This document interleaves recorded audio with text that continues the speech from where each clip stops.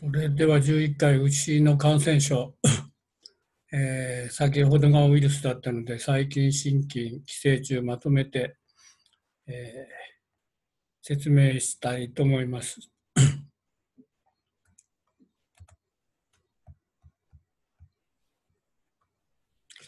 えー、最初がピンクアイ、えー、目の疾患ですね。えー、まあ角膜炎の場合には、あるいは結膜炎、ウイルス、マイコプラズマ、あるいは 種々の原因によって起こりますけれども、このケースの場合は、えー、モラキセラ、えー、ボビス、えー、分類的には、えーと、肺により影に発生ということになっていますけれども、えー、病原菌そのものとしては、えー、グラム陰性菌ですよね。えー、プロテオバクテリアモンの、えー、ガンマプロテオバクテリアコシュードモナスのグループに入る、えー、細菌感染症です。えー、ピンクアイですけど、まあ、こう感染して菌増殖すると反射光がこんなピンクに見えるということだろうと思いますね。牛微慢性結膜炎可能性角膜炎かと、えー、海洋も、え、形成するということになります。あら、それで終わりですね、これ。えー、細菌性脳炎としてはリステリア。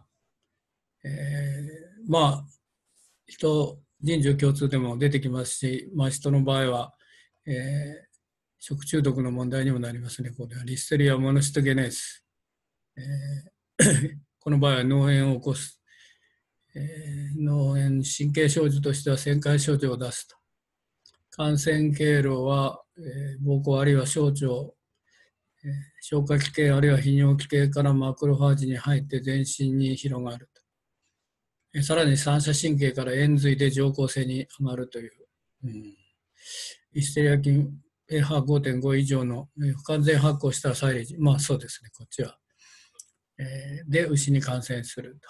塩髄と強に後発。微小農用。ということはある程度リンパ球だけであって高中球の真珠が多いということですね。胃管性細胞真珠、出血が見られるというので、そこに、えー、脳の胃管性細胞真珠とその拡大ですかね。うん、リンパ球だけではなさそうですね。えー、次が伝染性血栓、伝染性血栓栓塞性髄膜脳炎、えー、ヒストミヒルスソムニ。あ、そうか。これは、えー、今の名前がそうですね。さっきも載ってました。これヘモヘモフィルスのグループですね。えー、ヘモヘモフィルスソムニ。えー、肺血症でまあ、全身もありますから、肺炎も起こす関節炎、え、流産も併発すると。え、発熱、失調、麻痺、え、神経系に来ますね、やっぱりね。高級反調が出ます。え、筋神経筋興奮ですね。え、あと、昏睡。大脳皮質の出血、髄液あるいは髄膜、混濁。血管内皮に付着して血栓形成。血管炎、脳脊髄に、うんまあ、血栓して脳に栓塞が起こればやがて軟化層に脳軟化層に行くとは思いますね。これすごいな。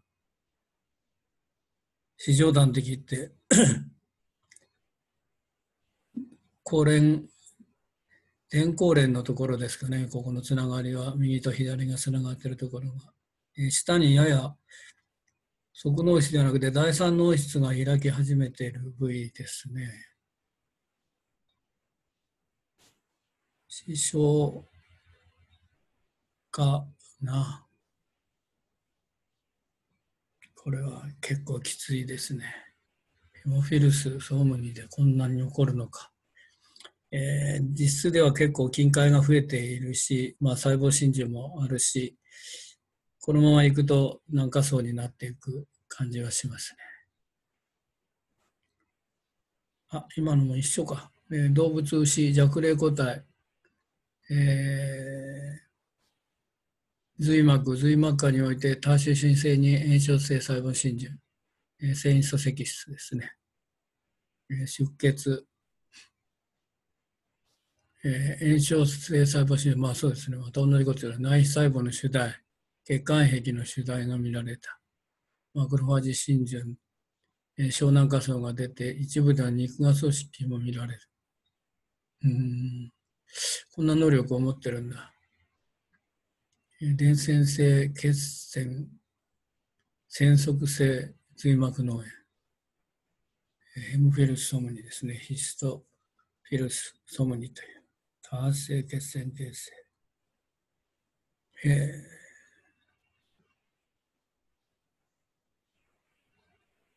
どのくらいの頻度で起こるのか あ、今の結構丁寧に書いてありますね。伝染性血栓栓塞性髄膜脳炎、えー、ソムニが原因となる牛の肺血症。脳炎以外に肺炎、まあ、肺血症を起こしてますから、血液に乗って菌が散っていますから、多発性関節炎。1978年以降、全国的に発生する、えー、非クミュに散発集団発生、2から10%結構高いですね。皮膚乳化。死亡率は90%。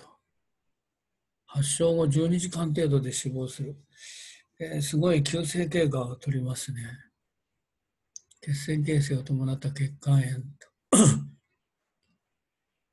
周囲周囲脳室への炎症波及で軟化、脳軟化。うんヘモフィルス属でこんなに早く進行するんだ。抗生物質治療とかってやるんですかね。えー、これ結構丁寧ですね。ヒストあヒストフィルスソムニの感染症。牛、さっきのが牛ですね。免疫も起こる。えー、グラム陰性非運動性の、はい。各地髄膜、年間を通じて発生する。呼吸疾患は晩秋から初頭。ストレス、死産の原因ともなる、元気消失、食欲不振、運動失調ですね。麻痺、痙攣、起立不能、昏睡、まあ脳の方に行けばそうなります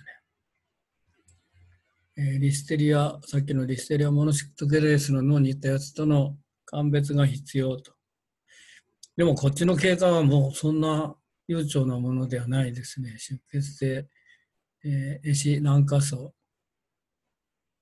うっ血、出血、高中級浸潤、併発として肺炎、心筋炎、血栓形成するので、詰まったところ、原曲性姿勢病変。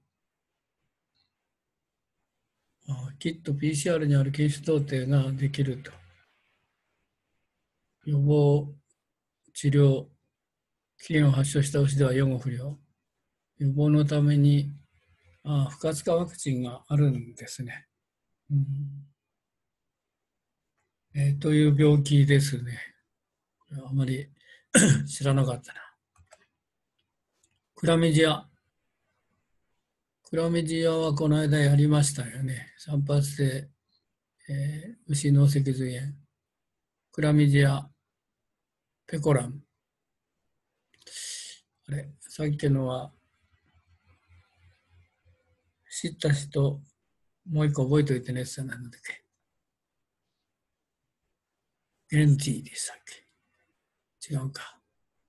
えー、また違うですね。6ヶ月以下の幼乳に多発。えー、四肢麻痺、1週間以内に死亡。えー、母体では流産。未満性髄膜炎。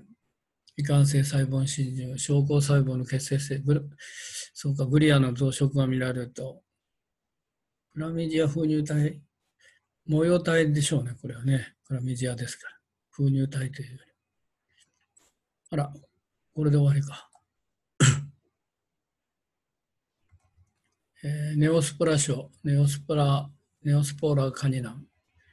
えー、新生児に脳脊髄炎を起こす。胃管性細胞、えー、グリアの結節、グリア結節、タキソイド、ブラジソイドを入れるというえー、ボバインネオプラズ、ネオスポローシスですか。宿主は牛水乳偶天目ですから、綿羊ヤギ鹿。収縮種が犬か。うん、食肉の方なんですね。感染犬糞便中のオーシストを摂取して、えー、原虫ですが、タキソイドの傾向、胎盤感染か、口から入って、流産、胎児の場合は、神経症状、成長不良、起立困難。えー、類症は先ほどやりましたね、赤羽、中山、えー、規定出すグループですね。牛ウイルス性膜、え、ウイルス性下痢粘膜症 BVDMD のグループですね。それから牛伝性 B 気管炎ですからヘルペスですか。ブニアのグループと、えー、BVDMD の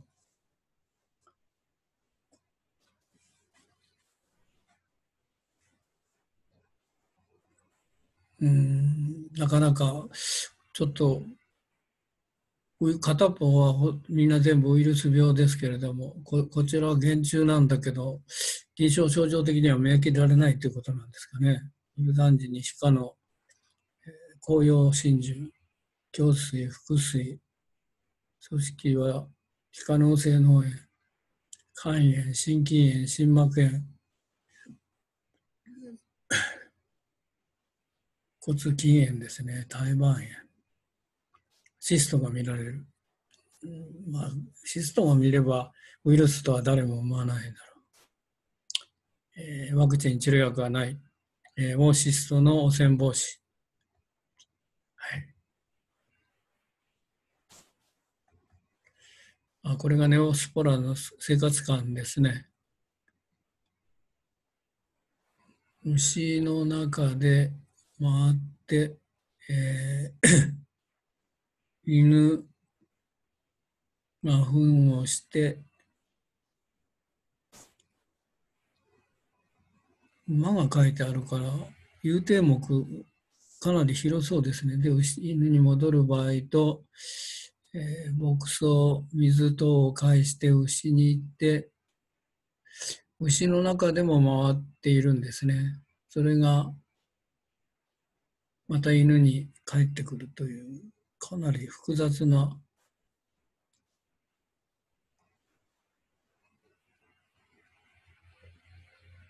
ホリゾンタルの水平のトランスミッションを起こすのと垂直感染のバーティカルを起こすのが牛のグループですか。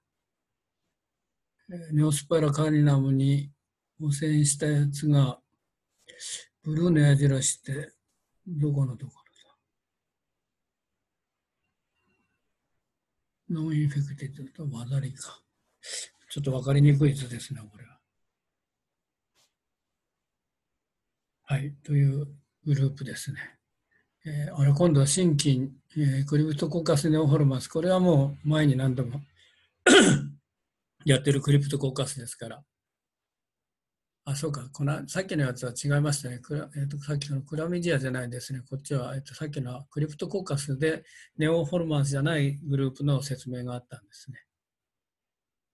間違えました。はい。これはまあ普通のクリプトコーカスです。えー、これはもう後の本のも、えー、何度もあちこちで説明したので、鳥でもやった、伴侶動物でもやった、人獣共通感染症でもやりましたから、省略しましょう。子犬のジフテリ普通僕らだとコリネバクテリウムディフテリエですけど違うですね。これはフソバクターですね。えネクロフォーラン。姿勢口頭炎。ああ、気管支炎。これで偽膜結成とかあるんで、ディフテリーっていう名前をもらってるのかもしれません。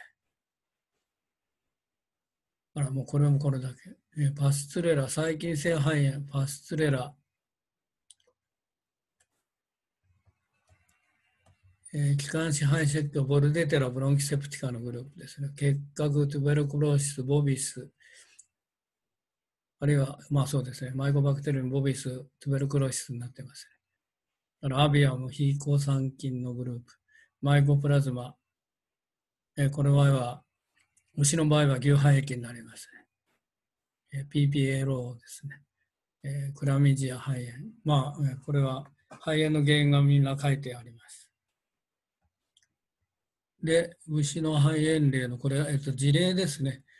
戦後50日例で、チアノーゼと咳を出したのと、あとラッセルオンと、えー、肺温消失、肺炎の末期まで来て、えー、抗生物質をやって、生前検査、どこ行くんだろう？違うな。投薬をして生前検査。普通生前検査しても土地上に行っちゃうことになるけど、そんなことないですね。生後56日ですから、まあ、投薬後の治療効果を見たという意味ですかね。ちょっと意味が分かりにくい。えー、子牛の肺炎、亡くなったのかな、大脳があるということ。えー、モザイク状です、え、肺炎が起こしているということですね。もうちょっと赤黒くなると、いわゆる肝変化という格好で、無気肺に近い状態になると。えー、でもこれ、組織で見るとかなり、まあ、こっちの右上は空気がまだ残って、間質にかなり進出してますけど、反対側のところはもう完全に埋まっていますね。えー、当然炎症を起こしてるんで、肺門リンパは腫れると。えー、小陽性肺炎。パステレラ・マルテシーダのこと言ってるのかどれ、どれの説明なんですかね。あと、まあ、太陽、こっちは太陽性に近いのかな。こっちの下の方は。えー、ロビラーニモニア。いくつかの肺葉にまたがって出ると。えー、クルプ性肺炎ですね。はい、放射膜の強い細菌、えー、牛肺液、マイコプラズマですね、からパスツレラ、えー、肺炎球菌、ディプロコッカスニューモニア、今はストレプトコッカスニューモニアと名前が変わっています。えー、ファイブラスニューモニア、えー、衝液と一緒に、えー、繊維素が出てくるケースですね。繊維素性肺炎。えー、充実期、肝変期、はい、そして誘拐期と。カーニフィケーション、肉変化、えー、繊維素が誘拐されるまま肺胞内で、えー、基質化するという。割合、うん、レントゲンで結構こう無気配ではなくて白いも山という格好で見れる格好になるかと思いますね。その後硬化していくという。クレローティックな変化になっていくと。えー、H で低倍でそうですねすごい細胞がもう新宿でもここの拡大で見るとかなりリンパ球の方が多そうですね。マクロファージ、リンパ球が多いですね。気管支周囲にリンパ球、形質作用、マクロファージ侵入、そうですね。慢性気管支肺炎、気管、慢性気管支肺炎。何が原因だった？1、子牛のパステルラ症。さっきのでパステルラが1ですよね。どれの説明なんだろ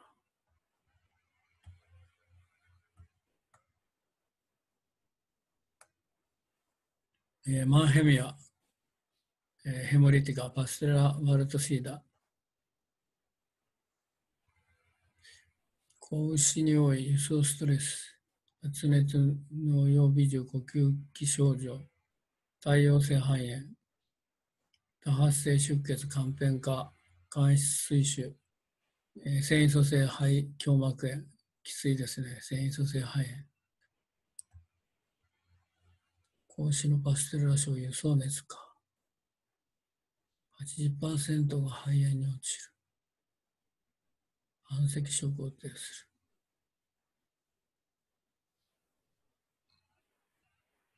うん。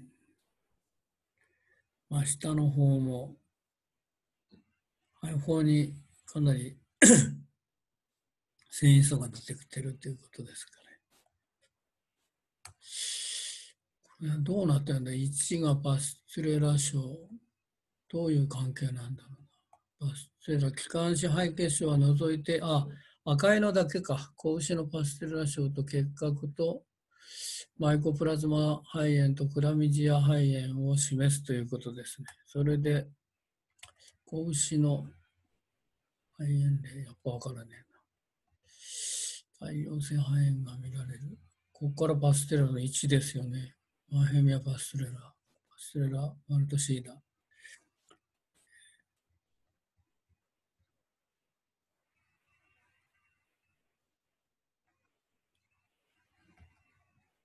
これでも終わりですよね。パスレラ、そう繊維素の積質と、ものによっては太陽性肺炎に行くと。結核はまあ、これももう結核結節の何度もやったので、えー、飛びましょう。流形結核、ボバイントベルクローシス。はい。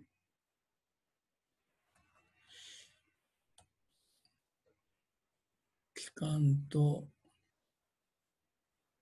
リンパ節と。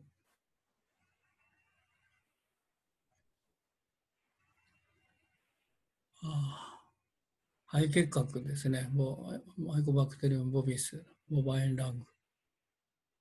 これすごいなこれもまた。交際近接菌は少ない。まあこれは特徴あの人のと割合近いと思いますね。あのアビアムはもう真っ赤っかに染まるくらい菌が出ますけど。床性肺胸膜炎、胸膜結核、牛の真珠病か。牛の結核において胸壁に形成する真珠用光沢を要する硬い結節病変。中央は陥落壊死。も時に石灰化を起こすと。パールディジーズになってますね、これね、標本の名前の名前が。マイコプラズマ、えー、コンテンジャスボバインプリウムニューモニア、えー、これは法定伝染病ですね。海外伝染病でもある。大陸の日本語が出ていた時はこれがすごかったという話を聞きましたね。あの東大の病理にはこの標本の切片があって最初に顕微鏡で見せられた覚えがあります。牛、豚、ヤギ、発症率100%。肺炎を生じて死亡すると。潜伏期間が10日から2週間、長いと3日から6ヶ月か。発症率100%で致死率も高い。ただ日本での発生は1941年以降ないと。大陸のやっぱり病気なんですね。急性期の発熱、検体食欲不振、半数停止、水溶性粘膜の微重、咳、慢性に移行すると呼吸困難、錯綜。かなり人食い的でゆっくりで外からだけだと、えー、慢性の呼吸器感染症、他のものとの見分けはつかないですね。えー、有肺液、これは模式図ですかね。赤色寒片化。そうですね。この赤い、うん、会食寒片化が混在する。うん、拡張間質の絵師。マイコプラズマ、牛の場合はやっぱり結構ひどいですね。有肺液。えー、牛その他のマイコプラズマ性肺炎、マイコプラズマボビス、プレウモニモニアがさっきの病肺病肺液のですね、これ他のでマイコプラズマはボビス、えー、ボミゲニタリウムですから、これは、えーと、生殖系のマイコプラズマですね。あとディスパー、えー、ウレアプラズマの、えー、リバーサン、うん、いろいろマイコプラズマ、牛、感染、いろいろな種類に感染します。クラミジア、これはもう音病そのものですね。クラミジアシッタシですから。まあ、えー、鳥がメインですけど、えー、いろいろな動物がかかるというので、これももう省略しましょう。前に何度もやってます。えー、今度は寄生虫に行ってるんですね。肺中症、えー、ディクティオカオラス、ビビポーラス、濃厚感染肺中、寄生性、寄生虫性気管支肺炎、カモシカ肺中症、うん。あと、市場肺中、市場中が肺の来る方、フィラリアのグループですかね。えー、毛細肺中、えー、豚肺中、犬肺中、猫配中、キツネ配中、まあ、それぞれの配中ということですかね。その中の牛配中。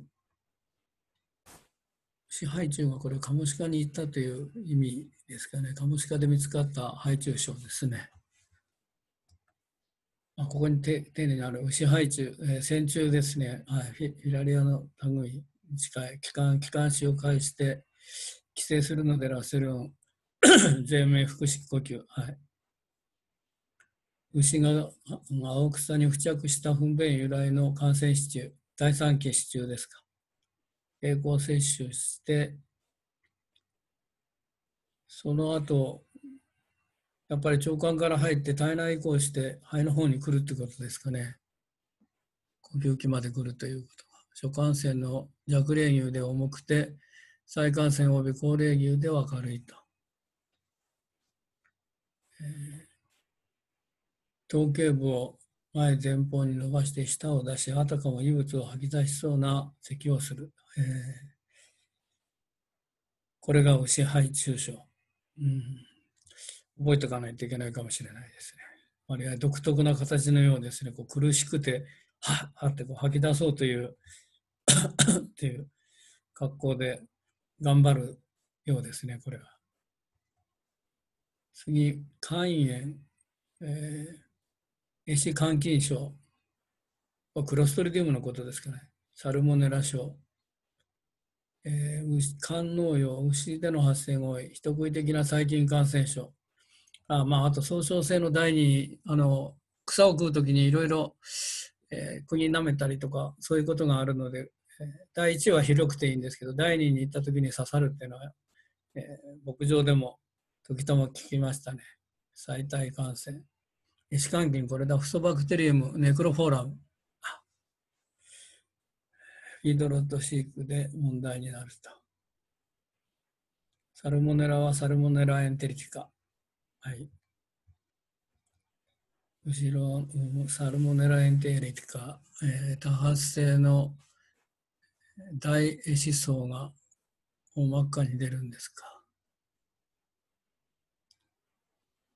マクロファージが集まって肉芽性の結節、チフス用に見えるパラチフス結節って名前になってるんですけど、これは肝臓ですね。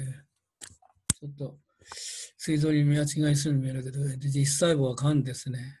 真ん中のところが細胞が置き換わって、新純細胞、メインがマクロファージの系で、サルボナラを食ってるのかもしれないですね。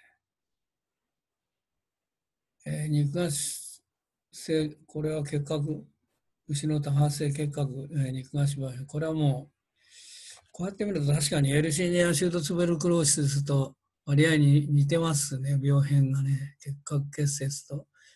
肉眼的には確かに見見分けにくい。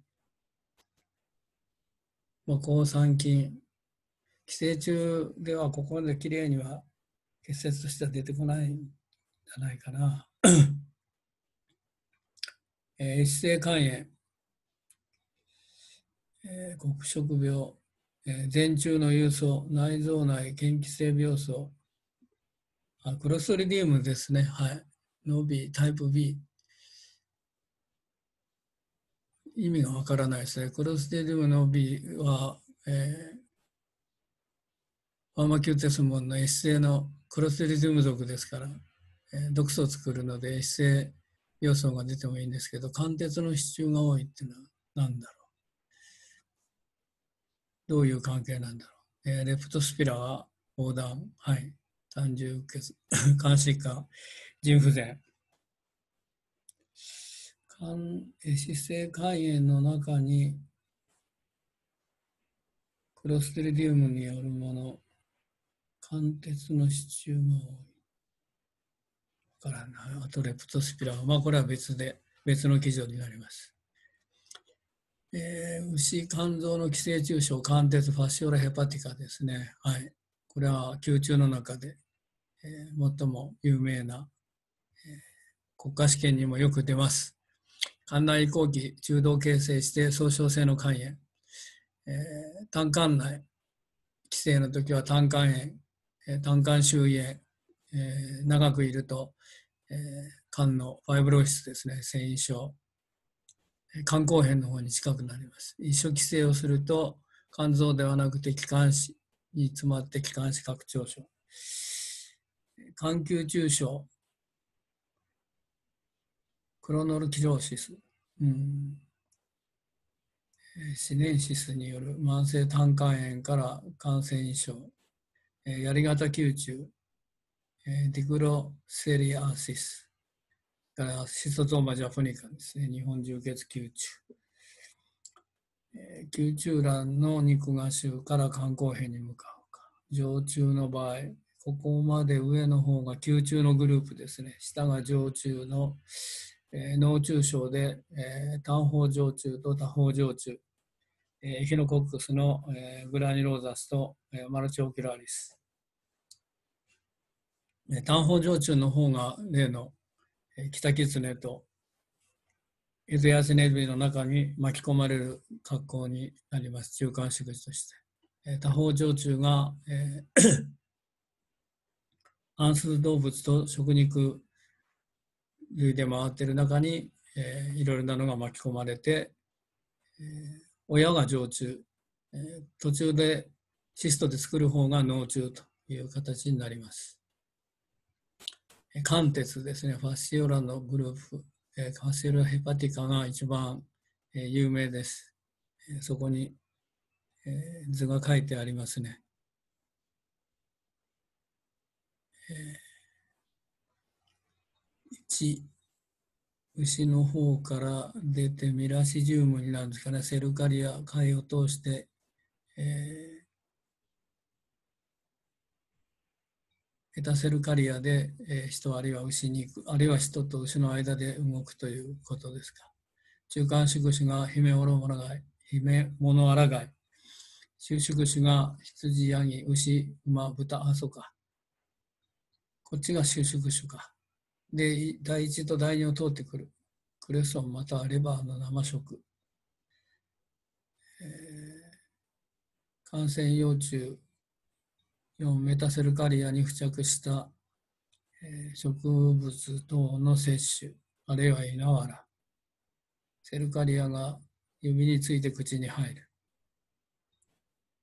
あるいは感染のレバーを、まあ今はもう禁止ですから、牛のレバーの生食は。これはなくなってるんですかね。そうか。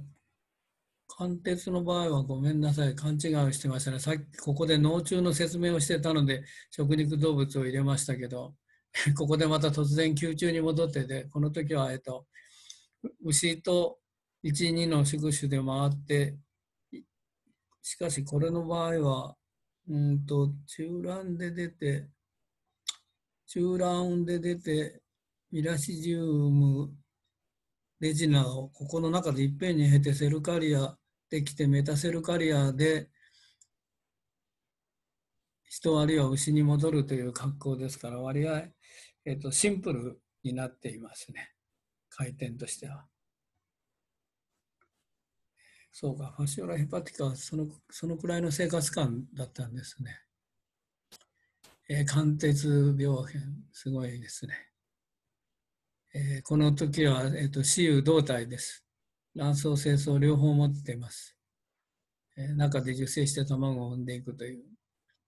胆管内の関節規制はこれだけ胆管に詰まられれば、えー、単純訴えが起こって、肝臓の方は肝硬変に、訴え性の肝硬変になっていくと思います。さっきの図がここにあったですね、関節腰中移行症。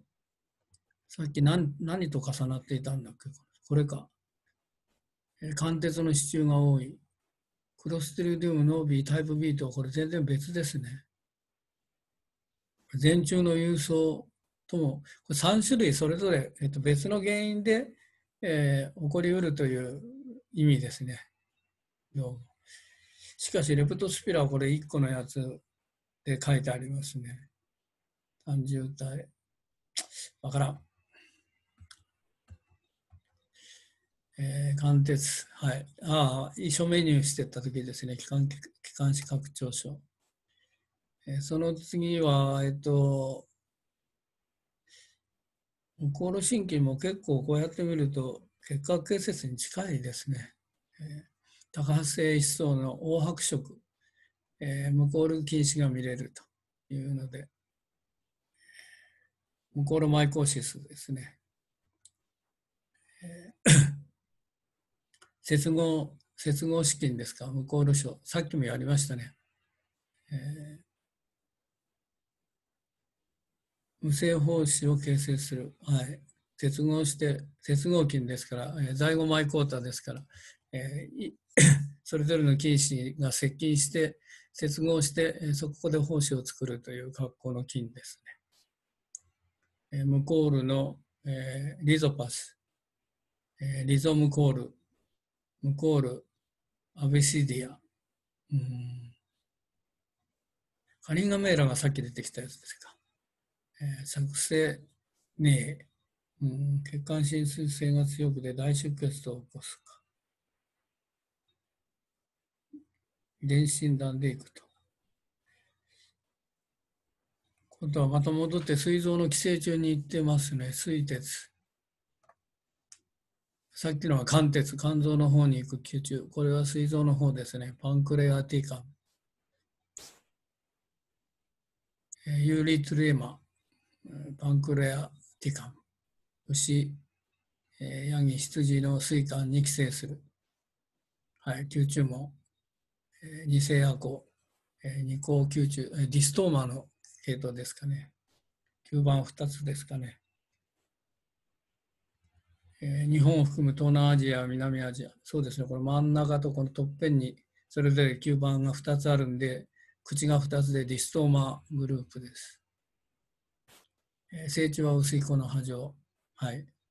1、2センチ。幅が5ないし9ミリ。慢性カタル。うん、水周囲線症。まあそうでしょうね。まあ、単単管であろうと、水槽であると出口に詰められれば、え、上にだんだんと圧が戻っていって、え、繊維が置き換えていくという作用基準で、ターゲットがどこかという違いです。え、 Cryptosporidium の、え、 parvum。うんれはまた別のことが書いてありますね。 Cryptosporidium の系統の、 parvum は SIV ですから、 simian immunodeficiency virus で、こう猿と人の エイズのグループで、水管に寄生していると重比の過形成が起こると。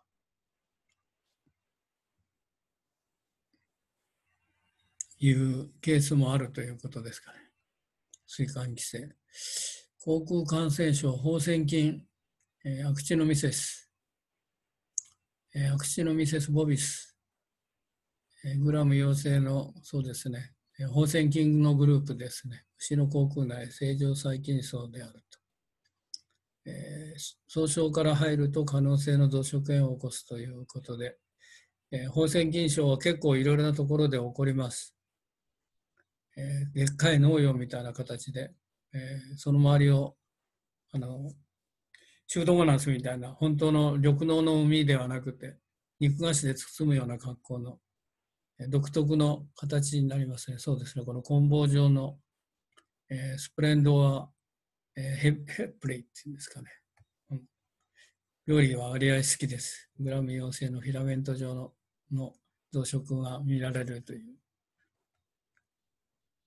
これは科学に行ったやつですかね。科学、そうですね。宝石賞の科学、えー、科学骨深部の農用形成、肉菓子形成、骨炎、骨髄炎、あるいは骨膜炎、いろいろ起こしていると。ね、これがその菌のフローラというか増えてるところですね。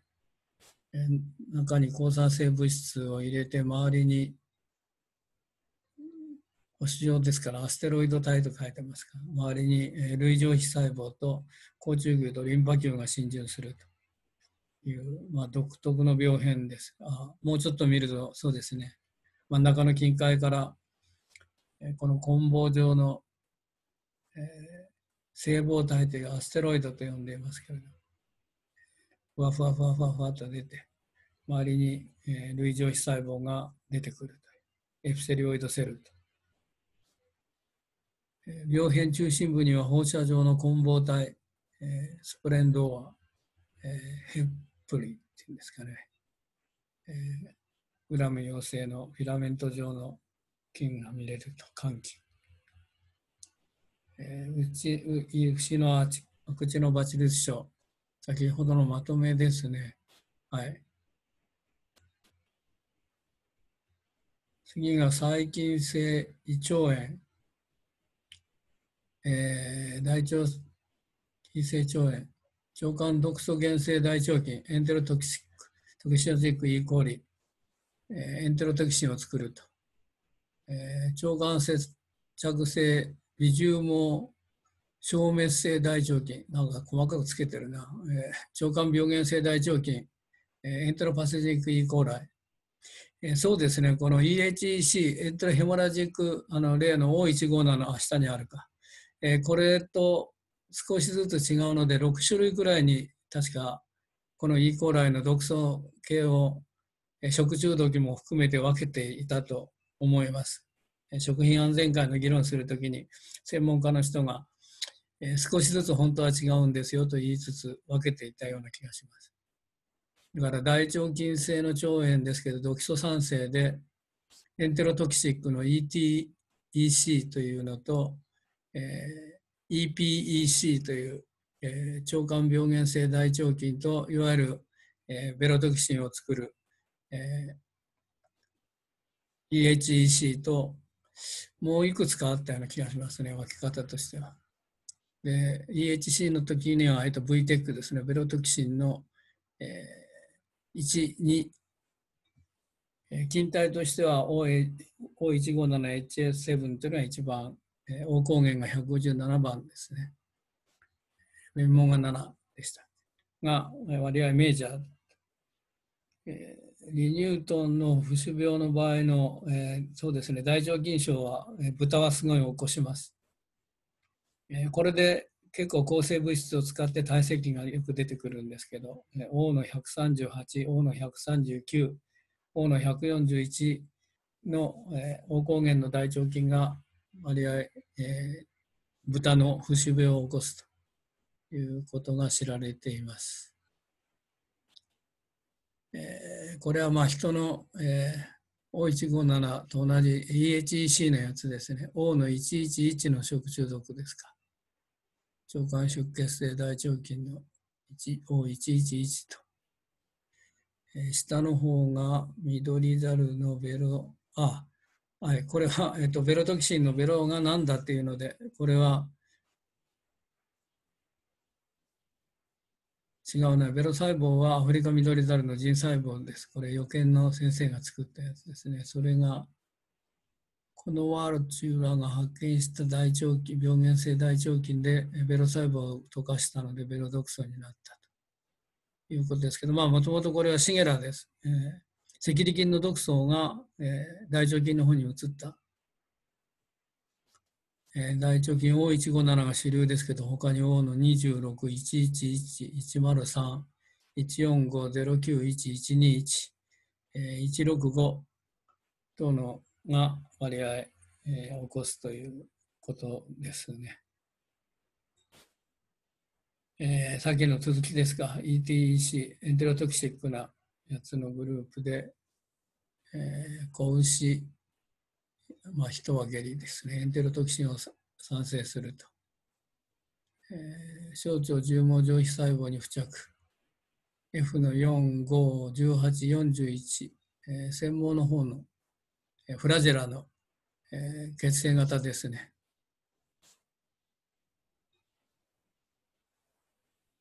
えー、あと、ロタとの複合、まあ、ロタも腸管感染を起こすので、複合感染を起こしやすいと。まあ、ロタは大体人も含めて、それぞれの動物が持っていますけど、新生児小児の下痢症のウイルスです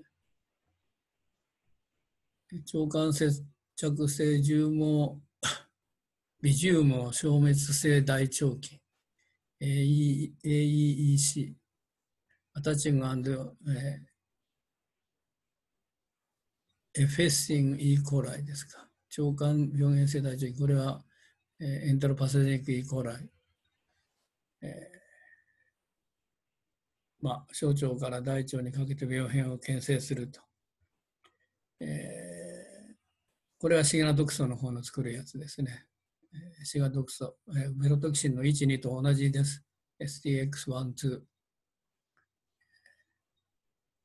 子牛で赤痢。そうですね。これはもう出血性の、腸管上皮を殺していきます。あの、あそこでやったね、えーと、ヘキソーストリセセラミセラミッドのトリヘキセスの糖鎖が3つくっついたやつがレセプターになっているんで、それぞれの上皮細胞、腎臓、心臓、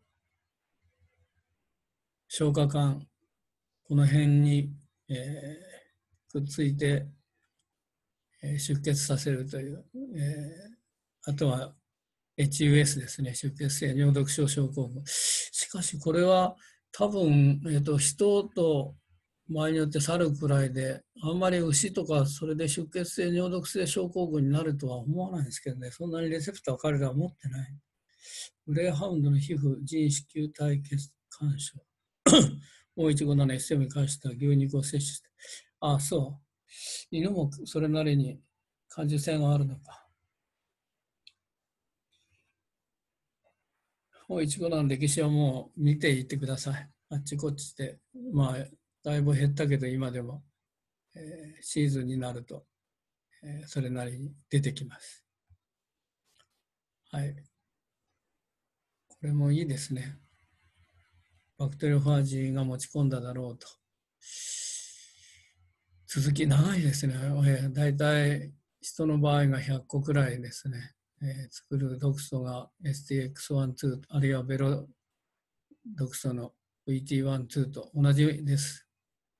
起こすのの最大の問題が HUS ですね。溶血性尿毒症症候群。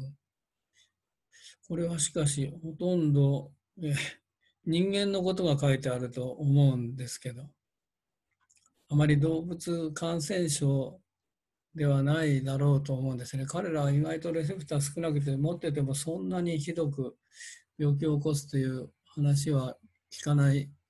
え、ネズミなんかかなりの毒素を打っても結構ピンピンしてるんで、え、人が非常に感受性が高いというこの毒素に対してですね、赤痢菌の毒素ですけど、それで問題を起こしているという気がします。え、クロストリディウム腸炎、え、これは起こします。クロストリディウムの作るエシ毒は結構きついので、えー、ヘモラジックエンテライティス。これは鶏のところでやりましたよね。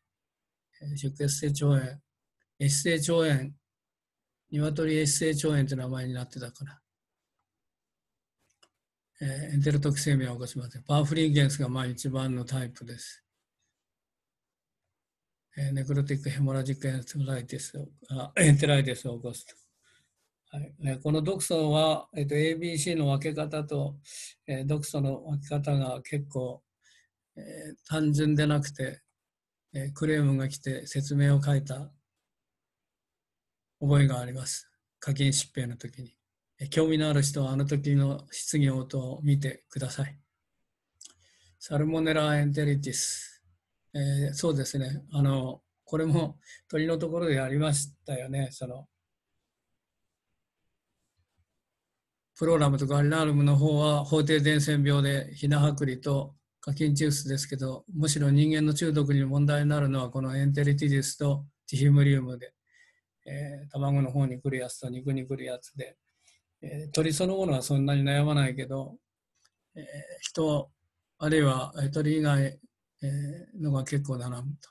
から、この2種類の他に、えー、そうですね、サルモネラコレラスイスは、えー、豚の方の、えー、トンコレラの原因がかつてこのコレラスイスであるという時期があって、まあ、最終的にウイルスの方に行ったんですけど、コレラスイスも、えー、似たような腸炎を起こします。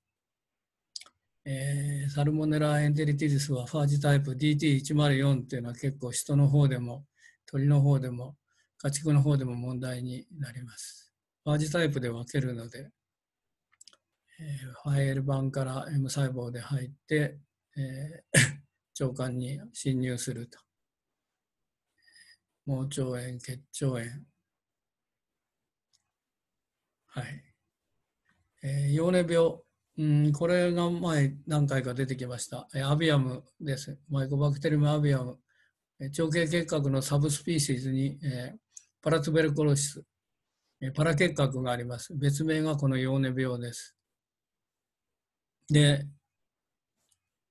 まあ、家畜の場合は、あのボビスがかなり日本はきれいにコントロールできたんで、えついで残って問題になってるのはこのヨーネ病です。パラツベルクロシス。割合、結核菌並みにゆっくり増えて、なかなか診断が難しいという、えー、ところで問題になっています。えー、粘膜が飛行して、えー、見るとこう、えー、わらじに似ているというので、え、独特の病変ができて、ただしこれ解剖しないと生前にはなかなか診断が難しいというところがあります。あと、まあ、もう一つは、えー、人のクローン病ですね、えー、大腸炎、慢性大腸炎、えー、の原因になっているんじゃないかというので何度も取り上げられています。えー、原因菌は、え、そこにあるようにマイコバクテリウムアビアムサブスピーシーズパラトベルクローシスです。まあ、かなりすごい飛行していますね、粘膜下式から。筋層に至るまで、普通はもう固有層があって、えー、すぐ、えー、筋層に大体行く格好になります。あら、あれ？これで？あ、そんなことない。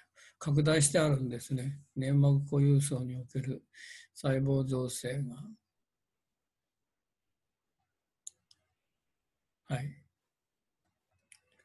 えー、マイコバクテリム属ですからチールニルセンで染まりますけどアビアム系ですからそこにあるように細胞内に真っ赤にパンパンに菌が入っているのが、えー、ボビスとかトゥベルクローシスと違う特徴です、えー、ラングハウス巨細胞はほとんど同じようにできています神経細胞マイスネルかなアウェルバッハか、えー、すぐギリギリまで細胞造成が起こっているということを言いたいんだろうと思います。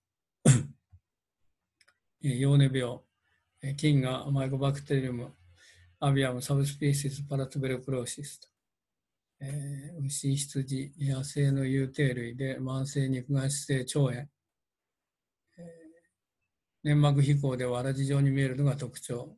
組織で見ると類状皮細胞による、えー、グラニローマですね、肉芽腫であると。えー、菌はパイル板の M セルからえ入ってくると。ここのえ会長円位端のところ BSE で取るというのはまさしくここと同じで、あそこに入ってくるプリオンが、このえパイル板の免疫的にまあ特殊な細胞なんですけど、M 細胞、あそこから入って、えー、プリオンの場合は、あそこに見えたあの神経細胞の方に入って、えー、腸管神経層から、えー、脊髄に上がっていくかえ、自律神経系から直接上がっていく経路で上がっていくという格好になっています。まあ、途中まで同じ系列で入ってくる。免疫的にかなりいろんなものを取り込む能力がこの M 細胞のところにあるので、まあそこをうまく病原体が使うということになるかと思います。で、えー、クローン病と関係があるんじゃないかというのは何度も何度も、えー、取り出さされています。原因として、え確定したというわけではないと思います。これが人の方のクローン病ですね。まあ、興味のある人は調べてみてください。まあ、ヨーネ病の危険性、はい。否定系抗酸菌症と。はいこれはもう前に説明しました。えー、結核菌と来菌がレプラですね、レプロジーを除いた、えー、非定型あるいは非結核性抗酸菌というグループに入ります。多くが、えー、環境菌で、えー、入っても日和見が多いけど、えー、免疫系とか補体系の依存がある、欠損があると、えー、全身性の肉芽質性を起こすという問題があります。クリプトスポリジウム、これも、えー、何度も説明しました、えー、それぞれの動物がそれぞれのクロクリプトスポリジウムを持ってる割には結構、えー、人に来る。健康時にも来るし免疫抑制の状況ではかなりのものが来る。問題は水系感染が主ですけど、えー、水道の塩素ではこのオーシストがじゃあシストがあの不活化されないという問題で、えー、結構時たま大流行を起こすということが問題になっています。えー、個体感染個体からオーシストが出て、えー、河川に入って、えー、上水道施設のろ過塩素処理したけど不活ができないで上水道に入って、えー、集団感染になるというシナリオになっています。まあ、講師は結構パルバムもそうですけど発症します。えー、クロストリディウム、えー、ティザー1912年の発見ですか。ティザー菌のティザーですね、これはね、多分。えー、まあ、牛パルバム。えー、遺伝型が人のと違います。シーパルバムで、牛と人は。からアンデルソーニも牛ですね。アンダーソンが見つけた2000年に確立と書いてあります。えー、クロスティウムのアンダルソーニ、えー、肉眼的には長変がないとで第4位に規制しているということですか。で、操作で丁寧に見ていますね。えー、粘膜、ちょうど繊維のところになりますけど、表面にこんなにくっついてるんだ。第4位の粘膜上皮表面に接着して寄生する。うんいろいろなアニマルカーフ、えー、馬、豚、愛玩動物、バイオテロで、まあ、水にまかれたらという問題ですね。えー、塩素の抵抗性が強いということで、えー、ほとんどの病原体が不活化できるけど、えー、抵抗性としてクロストリディウムと炭素菌の素が違ってますね、アースラ質の。これは本当にカーボンの素になってる。僕も時々やりますけど、えー、クリプトスポリジウム。そうですか、パーフリンゲンスも結構強いんですね。グラム陽性菌ですね、クラストリディウムも炭素も、えー、放性菌のグループとファーマキューテスのグループです。と、原虫のクリプトスポリジウム、これが、えー、そうですね、グラム陽性大肝菌のグループと原虫のクリプトスポリジウムが塩素に強いくらいは覚えておいても損はないかもしれない。えー、腎盂腎炎の原因菌可能性炎症、尿細管その他を巻き込んでいく。えここなんで突然これコリネになってますね。コリネバクテリウムレナーレ。なんだ腎盂腎炎を起こす原因菌について超高性で下から上がってくるのが大腸菌、ブドウ球菌。まあそうですね。これは犬猫のところでやりました。え、泌尿器系のところで。あと、混合感染の緑膿菌とえー、腎臓の好きなやつがコリネバクテリウム、そのたその通りですね、レナーレという腎臓という名前がついて、腎盂腎炎を起こす菌ですね。ブルセラ、これもやりましたね、アボルテス、スイス、カニス。えー、本当はメリテンシスとかもっと強いのがありますけど、ブルセラ・カニスは、えー、届け出になってたような気がしますね。えー、スイスもアボルタスも。はい。あ、人種共通感染症って書いてある。えー、肺結晶の炭素、炭素ももう何度も説明したので、えー、まあ炭素で問題になるとするとアスコリー反応パールテスト、えー、大肝筋で画法を持つ胸膜も持つ。胸膜に、えー、かなり強い抗原と毒性がある、えー、入るところによって皮膚炭素になったり腸炭素になったり、えー、種々のものを起こすとテロからすると、えー、胞子で、えー、入ると肺炭素でいっぺんに人を殺すと、えー、土壌菌になった時は数年以上平気で生きるというようなところが炭素の特徴です。はい。えー、感染性骨炎、アクチノマイコーシス、えー、汚染菌のグループ、あれさっきこれやりましたよね。真菌の Coccidioides immitis、 Blastomyces dermatitidis、これも、死脳菌のところで、どこでやったんだろう、うん、覚えがありますね。あ、そうか、人の、えーと、人獣共通感染症のところの真菌のところでやったんですね。えしか、えー、乳房の Nocardia、えー、総称感染呼吸器、えー、乳頭孔を介して感染すると。えー、牛では乳房炎、肺炎、流産が見られるという、えー、形になります。えー、これもえ、放線菌のグループになると思いますね。口のバシルスコだと思います。えー、うん、さすがになんとなくこう、放線菌らしいですね。先ほども出てきましたけど、こう類上皮細胞的なのを周りに集めて、ど真ん中に抗酸性の菌層を作って、周りに、えーリンパ球、好中球、いろいろなのを集めてくるというえ病変ですね。えー、中に菌が、こんな形で肝菌が染まってくるという、こうもうここだけ病変がでかくなると、本当にこの臓器が何だったんだろうという、読みにくいですね。ああと、まあ、グロコット染色でも、えー、染まります。グロコットはえー、心筋も割合よく染まってきます。汚染菌も染まります。えー、ここから原虫ですね。バベシアピロですね。えー、バベシアオバータ。犬のバベシアギブソーニ。え、牛のタイレリア、えー、タイレリアセルゲティ。えー、馬のピロ。日本にはないか。ヘパトゾーンですね。ヘパトゾーンカニス。ロイコツツトーンカウレリはえー、課金疾病でありましたね。プラスモディウムの、えー、ガリナガリ ガリナセウス、えー、ジャクスタヌクリアっていうのがあるんですね。なんか核に近いという名前ですけど。これはそうですね、すべて放子虫ですね。放子虫のグループで、えー、重血放子虫のグループ、ロイコチトゾーン、ヘパトゾーン、プラスモディウム、この辺は血液中ですね。ピロもそうですね。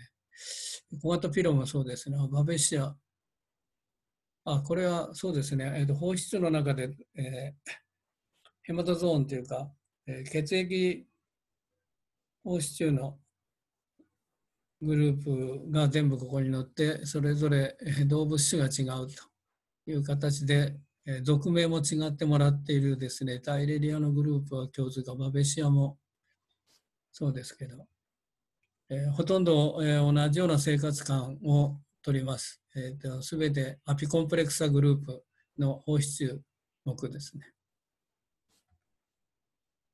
えー、原虫症、えー、レーシュマニア、えー、レーシュマニア、ドノバニカ、犬におけるカラーザール、懐かしいね、えー、内臓リンパ節、脾臓、えー、肝臓の主題、脾臓はレーシマニア原虫を細胞質に入れたマクロファージーが食ったままそのまま保存しているという格好になるかと思います。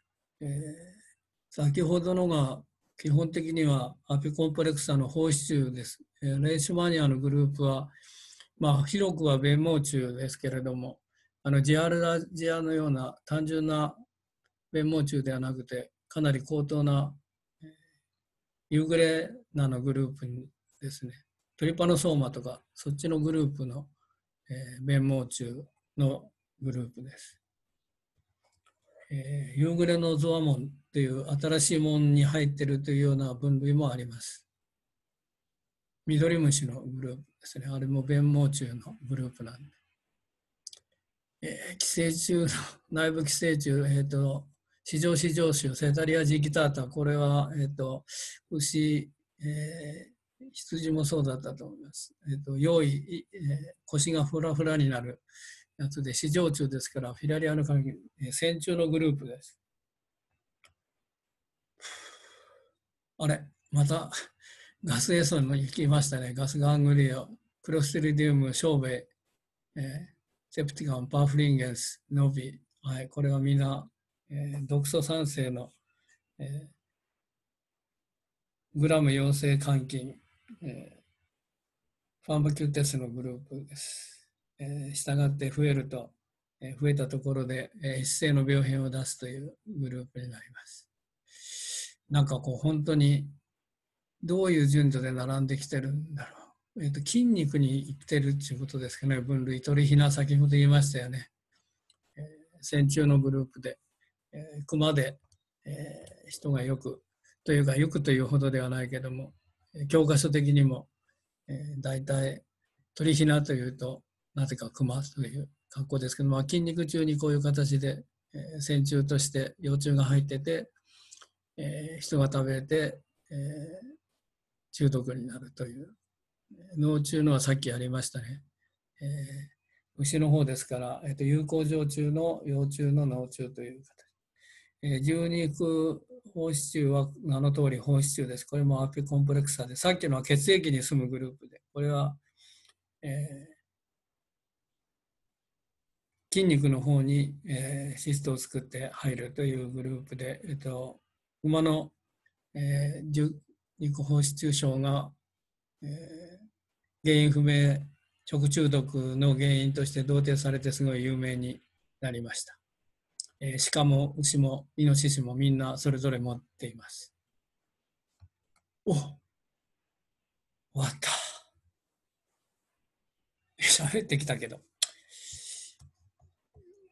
並び順と病原体と多分臓器別に並べようというふうに努力をされたのだろうというふうに思います。